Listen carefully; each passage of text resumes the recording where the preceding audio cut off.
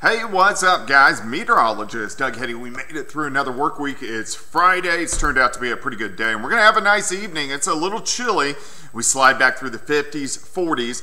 Eventually, uh, overnight low right around 40 or 41 degrees. Now, the winds are really going to pick up this weekend. We're going to have gusts 20 to 30 for us tomorrow, and they increase even more. We're going to push 40 by the time we head into Sunday. So, again, not the best of uh, burning uh, days over the weekend, but the temperatures are fantastic 74 on your Saturday, 80 on Sunday. So very warm, well above where we should be for this time of the year. All right, 74 Saturday, 80 on Sunday. Could get a few pop up thunderstorms late Monday into Tuesday morning.